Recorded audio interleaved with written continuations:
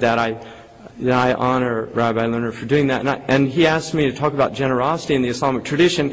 And what intrigued me about that question uh, of generosity, what is generosity?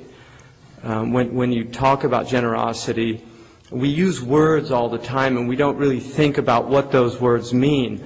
Uh, generosity in, in, in the Abrahamic tradition, certainly in the Islamic view, is one of the virtues. It's, it's considered in Arabic, they say fada'il, one of the virtues. And fadl, which is the root word of the word for virtue, means to overflow, to pour out of, like the cup runneth over. Virtue is something that pours out of a virtuous heart.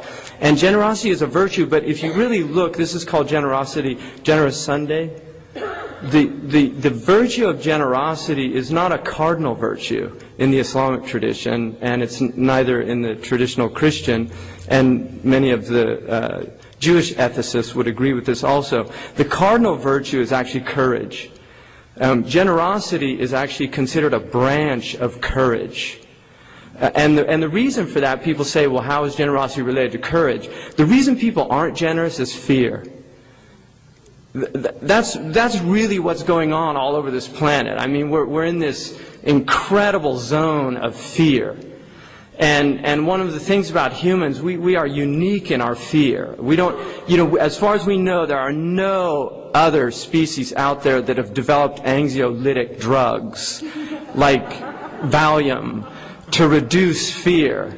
You know, Jesus said if you had faith, you would go out like the birds in the morning and come back satiated in the evening. Birds are not anxious about losing their job.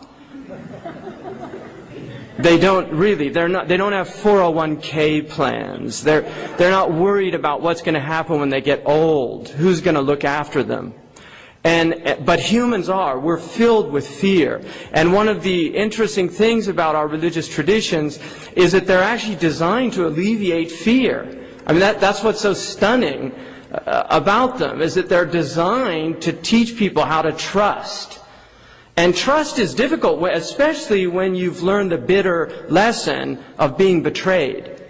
I mean, how many people were born into families in which that sacred covenant of parent-child relationship was betrayed because the mother was an alcoholic, or the father was abusive, or they abandoned them, or whatever reasons. Everybody has their stories and their experiences. And that first, according to Erikson in his, in his tradition of, of uh, in developmental psychology, that first crisis is trust versus mistrust.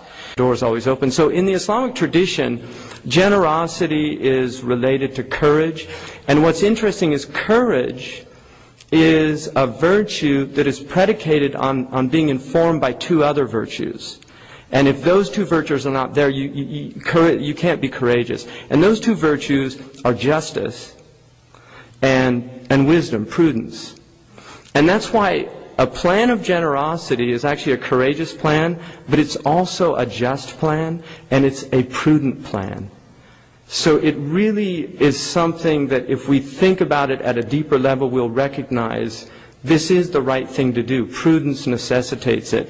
One of the traditions about the Prophet Muhammad, and, and I would really recommend, because he, I believe, is one of the most defamed people in the West. Um, people, uh, a billion point something, revere and love the Prophet Muhammad. He's worth learning about in the same way Buddha is worth learning about. I mean, when people, millions of people look to a figure uh, as a source of, of guidance. It's, it's just a, a wise thing to know something about those people. Really, because it just, it helps you, you know, to, to know something about Moses, about Jesus, about Muhammad, about Buddha, about Lord Krishna. All of these traditions help us understand each other better. And, and one of the things that really is so striking about studying comparative religion, which is what my degree was in, is that the, the more you learn about these religions, I have found, the more you come to respect them. There are millions of people. The Prophet Muhammad said, human hearts were made to incline to love those who do good to them. That is a statement about human nature that human hearts incline جبلت القلوب على حب من أحسن إليها hearts are made to love those who do good to them and I have traveled all over the world I've lived in the poorest countries on the earth I lived in, in Mauritania I lived with Bedouin in the Sahara and what I've noted is if you treat people with dignity they tend to reciprocate I have rarely found that principle to be uh, not true. Every once in a while you meet people that just, they've, they've got a problem, and you're not the problem, you just happen to be the object of the problem at the time. But there are people out there like that, and, and you're going to find them. But, but being the honoring people, and the word in Arabic for generosity, there are actually several words. The Arabs are very generous people, even with giving the word generosity different words. Um, the, the Arabs, one of the words that they use, and the most important one, is called karam. And the word karam, the root of it, karamat, means to be honored. And karama, which is human dignity, is the same word for generosity. So honoring people is being generous to people. And when you're generous to people, you're honoring them. In, in the Islamic tradition, 2.5% of your wealth, your standing wealth, not income tax, uh, income tax was actually considered in the Islamic tradition to be oppressive. But the, um, the, the, there is a, a capital tax of your wealth every year, which is your standing wealth that one entire year has passed over and that wealth was there. You, you're, you're obligated to give to the poor 2.5% of that wealth, every Muslim. Farmers and pastoral people are obligated to give 10 to 5 percent, depending on their circumstances, of their agriculture and their livestock to poor people.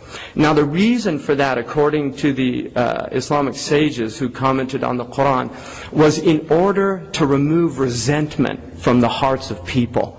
Because wealthy people get wealthy off the backs of poor people.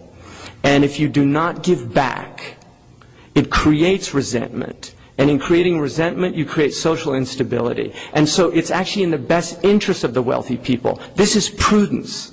It is in the best interest of the wealthy people to give back to those communities. And this is one people that do good to you. So in giving the 2.5%, there's a hadith of the Prophet Muhammad. He said, the hand over is better than the hand under, meaning the one giving is better than the one taking. With charity, when you're giving your zakat, what you owe, this isn't like extra charity. This is a, a tax that is to be given, and it's a right of poor people. It's not, so you're not doing them a favor. It's something you owe those poor people.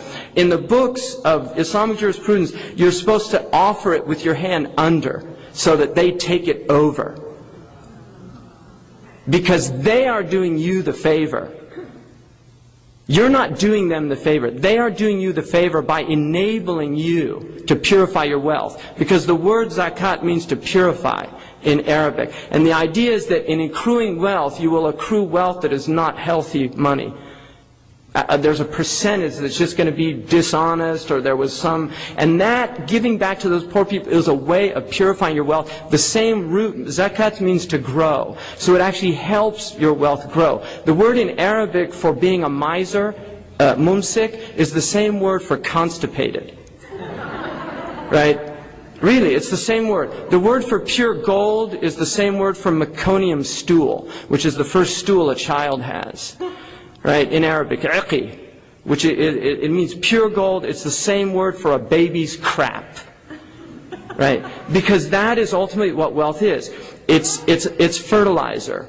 You spread it around and, it, and wonderful things come forth from the earth. You keep it all in one place and a foul stench emanates from it. And that's the nature of, of this wealth that we've got. We've got a handful of people that are controlling the majority of the world's wealth. And it's absurd, it's obscene, and, and, and ultimately it's creating immense social instability.